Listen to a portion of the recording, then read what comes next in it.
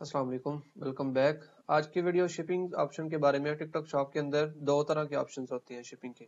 एक fulfilment bye seller होता है और फुलफिलमेंट बाय टिकटॉक होता है, ठीक है?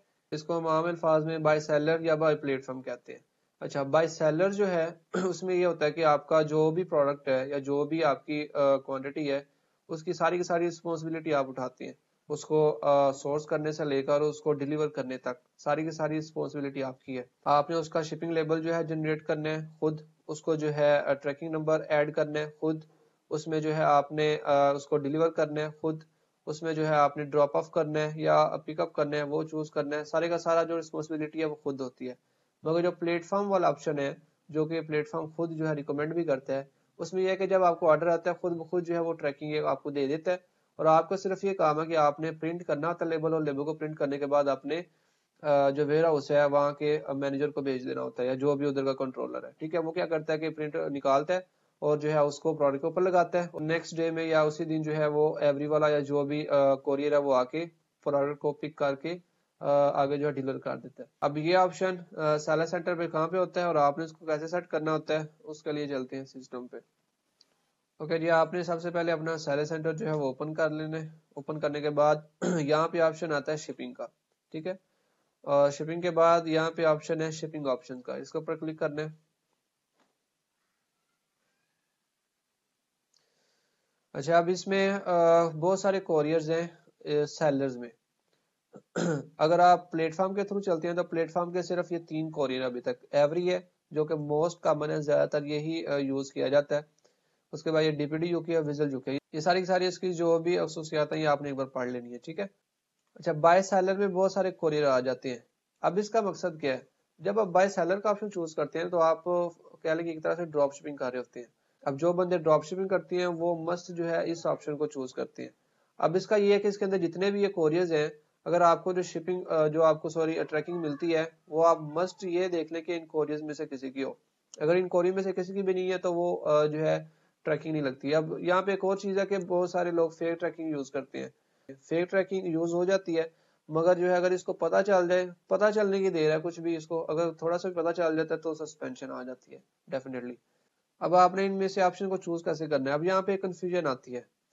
अब क्या करते हैं कि जी अगर आपने चूज़ करना है प्लेटफॉर्म का तो इसको कर देते हैं ऑफ़ ऑफ़ करने से क्या होता है जी इनको लगता है कि हमने ये जो है, ये चूज़ कर लिया है तो बाकी ये जो है ऑफ़ कर दिया। ऐसा नहीं होता इसमें। आपने दोनों ऑप्शन जो है वो ऑन करने हैं। ऑन करने के बाद यहाँ पे ऑप्शन आता है प्रेफर्ड का। ठीक है? अब विया प्लेटफॉर्म के ऊपर अगर ये आ रहा है प्रेफर्ड का मतलब कि मेरा जो आ, मेरा जो ऑप्शन है वो जो ऑन है वो है प्लेटफॉर्म के थ्रू अब इसके नीचे आते हैं तो यहाँ पे आता है सेट एज प्रेफर्ड का। अब इसका मतलब यह है कि अगर आपने सैलर का ऑप्शन जो है चूज़ करना है तो सिंपल सेट एज प्रेफर्ड करेंगे और वो प्रेफर्ड का ऑप्शन आ जाएगा यहाँ पे।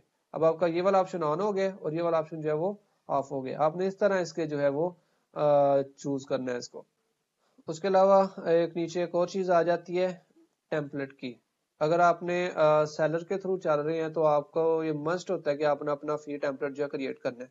अब फ़ी टेम्पलेट क्या है कि फॉर एग्जांपल बाय सेलर में कर रहा हूँ, और मुझे नहीं पता कि मेरी जो प्रोडक्ट है, उसके ऊपर शिपिंग चार्जेस कितने लग रहे हैं।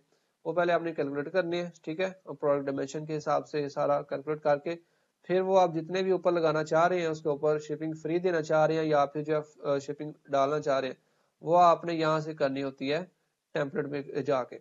अब मेरा पहले से टेम्पलेट बना हुआ है तो अगर पहले से बना हुआ है, इसको एडिट कर सकते हैं न्यू टेम्पलेट ही बना सकते हैं, सिर्फ़ एक ही टेम्पलेट बनता है। अब यहाँ पे आ जाते हैं नीचे रीजन ये सारे के सारे रीजन है, ठीक है? उसके बाद ये शिपिंग रूल्स हैं कुछ इनके, ये भी आपने इनकी पॉलिसीज़ में से एक बार पढ़ लेने हैं। यहाँ पे वेट आपने थर्टी के जी रखने हैं दोनों में। अब यहाँ पे आ जाती है कॉस्ट अगर फ्री शिपिंग दे रहे हैं तो इसको ज़ीरो ज़ीरो कर दे। अगर आपने शिपिंग चार्जेस ऊपर लगाने हैं तो यहाँ पे जितने भी लगाएँगे वो आपके प्रोडक्ट के ऊपर खुद खुद ऑटोमेटिक लग जाएँगे, ठीक है? दैट सिंपल और उसके बाद आपने यहाँ से कर देना इसको सबमिट ओके जी?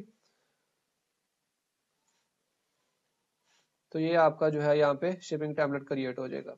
अच्छा यहाँ पे एक दूसरी चीज़। अगर आप चलते हैं प्लेटफॉर्म के थ्रू तो उसके लिए आपको ज़रूरी होता है कि आपने अपना वेयर हाउस का एड्रेस डालना होता है, ठीक है? उसके अलावा यूके और यूएसए के अंदर जो वेयर हाउसेस के लिए लोग मैसेज करते हैं। तो ये दोनों के टेम्पलेट है। बाकी मैं नीचे नंबर भी डाल दूँगा। अगर मजीद डिटेल चाहिए होगी तो मुझे नीचे कॉन्टेक्ट करिएगा, मैं आपको डिटेल सेंड कर दूँगा, ठीक है? यूएसए के अंदर जो है मार्च तक जो है डिस्काउंट चल रहा है ज़ीरो पॉइंट सेवन डॉलर का। ऑल कैटेगरी में ऑल प्रोडक्ट में और जितनी भी क्वांटिटी हो स्टोरी का जो है वो फ्री है। बाकी ये डिस्काउंट मार्च तक चलेगा। मार्च के बाद जो है वो उसकी प्राइजेस जो है चेंज हो जाएँगी, ठीक है? बाकी यही थी आज की video. Thanks for watching Allah हाफिज़।